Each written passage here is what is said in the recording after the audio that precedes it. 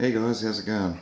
Right, um, I've had a few requests um, wanting to see a little bit more of this machine that I've built um, and wanting to know a little bit more about Hyperspin. So I thought what I'd do is I'd just make a quick video just showing you a little bit more about it. Um, it's kind of hard for me to tell you sort of anything too useful, um, mostly because it's all pretty straightforward really, but um, what we'll do is we'll have a look at the hardware first. So um, this is a Antec case, it's a mini ITX case and there's actually two models of these. Um, this is a 150 watt version and the other one you can get is a 65 watt version and that's obviously in reference to the power supply that they come with. Now the 150 watt version has a power supply built in and um, the 65 watt version has uh, an external power supply like a, a laptop power supply.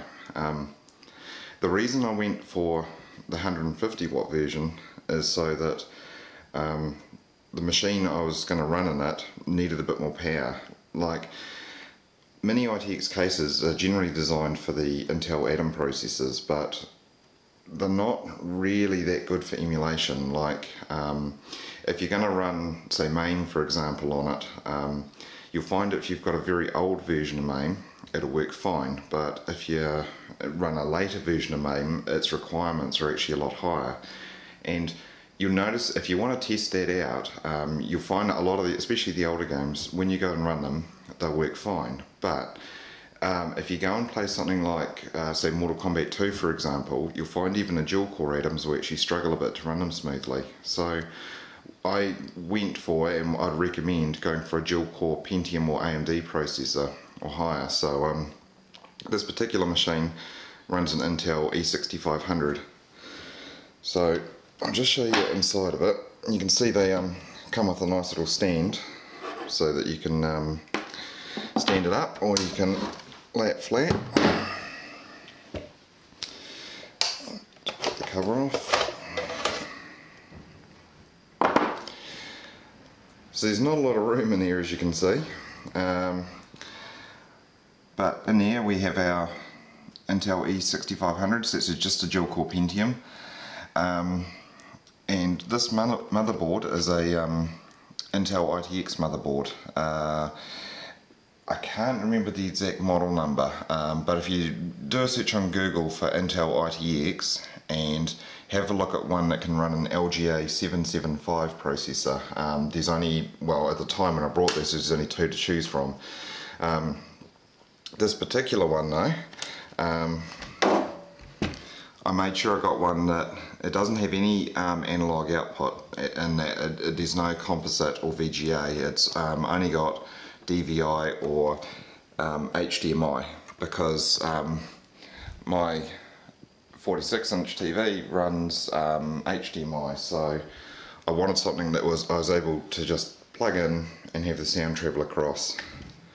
Because um, I wanted when I was building this I actually I hadn't started collecting consoles at that point and I sort of said to myself that I wasn't going to pour all the money into um, buying all these old machines like the Sega Mega Drives and the um, the Super Nintendos and that sort of thing because I, I, thought well if I can emulate it what's the point?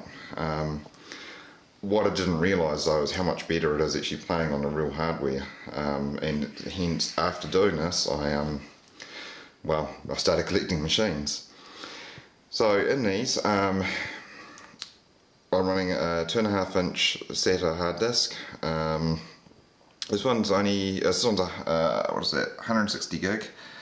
Um, you'll find that for emulation you really don't need a very big hard drive because most of the ROMs and things just aren't really that large. Um, I think I've got several hundred games or something probably into this, probably thousands actually, I'm not sure. Um, and I think I've chewed up about 20 or 40 gigs, so you really don't need a lot. Um, with these cases, if you want to have an optical drive, you have to get one of the laptop um, optical drives, one of those little slot loading tray type things, um, and you've got to get an adapter. But for me, what I do is I actually have uh, all my emulator folders and everything shared on a network, and I just transfer everything in um, through network. Um, and what else have I got? Uh, runs 2 gigs of RAM. Um, I've just got two 1 gig sticks in there.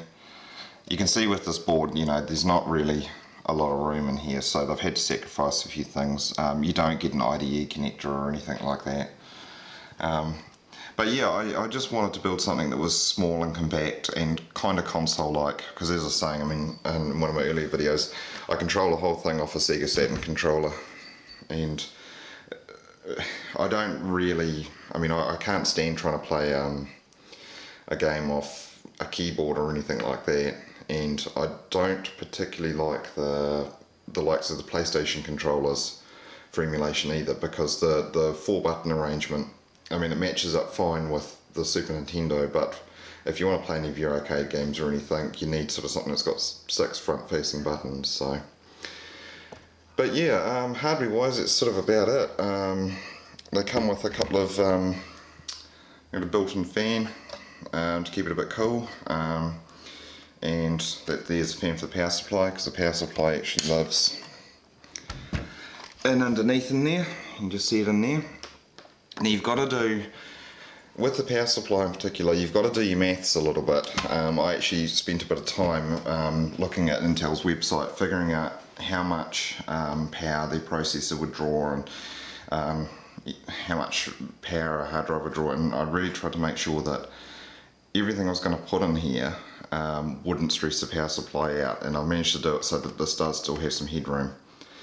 Um, but sacrifices have been made and that I run one hard disk, the CPU, the RAM, the motherboard, that's it. I've, well, as I said, I, I couldn't be bothered getting an adapter for a CD-ROM anyway, but you want to keep it as minimal as possible. And the other thing is because this case is quite creamed, um, and although you'll see there's lots of, you know, lots of air uh, grilling in there for the air to escape, um, it is quite compact, so you've got to be a little bit careful of heat. So um, an E6500 CPU is not not a bad choice. Um, these boards apparently will run some of the quad cores, but really you don't need it. Um, and the other thing too is the onboard graphics in this is one is a Intel HD, I think a 4500, which by PC standards isn't a great video card. But having said that though, um, it's not bad for emulation. Like I can run all of the Sega Model 2 um, machines and that they emulate perfectly on it. There's no slowdown, no, you know, the graphics card just doesn't hold me back.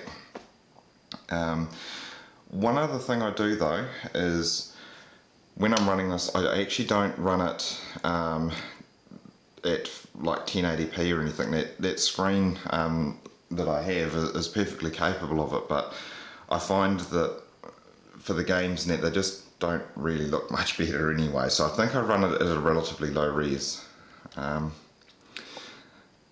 yeah, so I guess uh, what else can I say about it? Um, it's just a PC really in a small box. Okay, so software wise, um, what some people seem to get stuck on is um, you take the likes of Hyperspin in there and they think that it's you know going to be quite a mission to set up. Um, but with the likes of Hyperspin, it's only a front end all of the work is actually involved in setting up your emulators. So if you've ever um, downloaded MAME before or um, SNES9X or um, uh, Keegan, Kega Fusion or whatever it's called, um, if you've got those running your games, um, then the rest is actually a walk in the park because the, like Hyperspin, all that does is it just goes and points to the emulators. So if you're going to set up a machine, what you need to do is, first thing you need to do is set up Windows XP,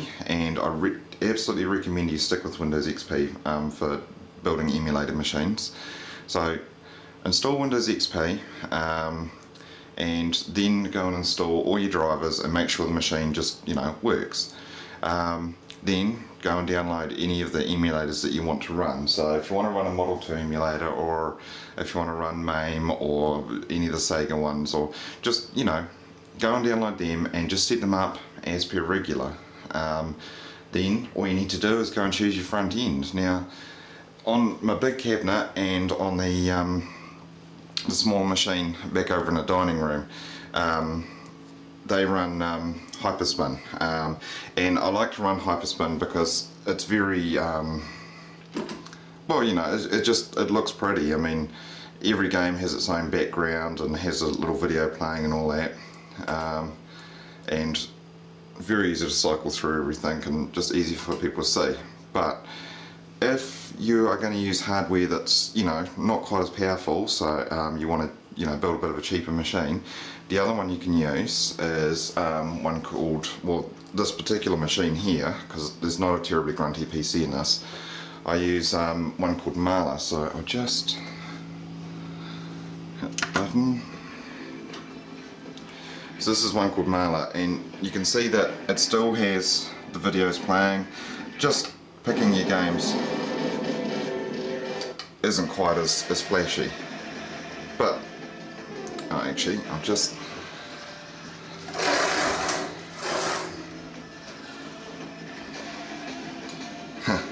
Not very easy to see in here today. A bit too much sunlight coming through. I need to paint my windows black.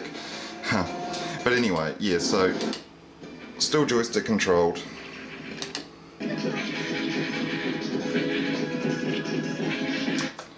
So yeah, not quite as flashy, but as a trade-off though, by not being as flashy, then the requirements aren't quite as high. When you go to these websites to um, download these front ends, whether it be Mala or whether it be uh, Hyperspin, you find that there's great forums on there already with a lot of guys who've been using it a long time and very, you know, they find it very easy to use. But in particular, Hyperspin is very easy to set up. Um, you just install it. Um, in fact, I don't even think it has an installer. I think you just download it and then you can just run the program from there. And you can go into the service menu for it and you can tell it like it fully supports joysticks and everything. So if you instead of using a keyboard encoder, if you're using a USB joystick, it supports joysticks. So you can tell it, you know, what is up and what is down, and you know, all really straightforward. So again, all you need to do is install Windows XP, install your emulators and make sure they all work, and then just go and get the likes of Hyperspin or whatever you want and then just tell it where the emulators are and then start it up and it goes. Um, to get the the likes of the um, the videos and that you need to go to um, well I've, I've, actually got all my movies and that I've got them from Emu Par uh, Emu Movies supports all the major front ends so with Hyperspin um, that uses um, Adobe Flash video files, so .flv files. That's the sort of video format that needs to be in. Whereas the likes of Mala um, that uses AVIs, and again it, it supports them.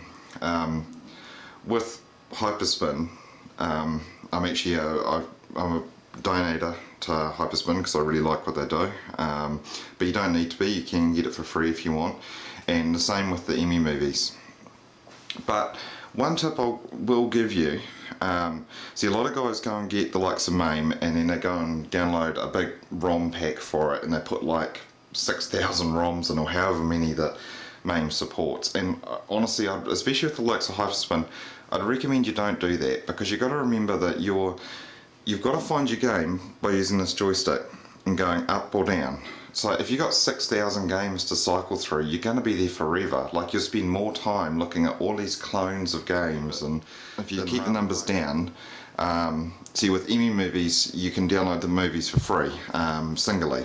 So um, if you want to download the whole lot as a bulk pack, then you need to donate to them, which again I've done. So, you know, it's, it's easier for me to go and do it. But if you just want to set it up and have a bit of a try, then just try setting it up with one or two games first and then move on to 10 or 20 or whatever you like just to see whether it's um, going to work. I can't really think of what else I can sort of suggest to help you guys so um, what I'll do is I'll get this video uploaded and then pretty much any questions you've got from there just just message me or if you want another video made on anything it's, it's, it won't be a problem. I'll do that for you. So um, yeah I hopefully I've sort of gone in depth enough but if I haven't hey not a problem at all. Just let me know. Um, so yeah thanks for watching guys. I, I hope it's sort of given you a bit of a tip or two and we'll hear from you later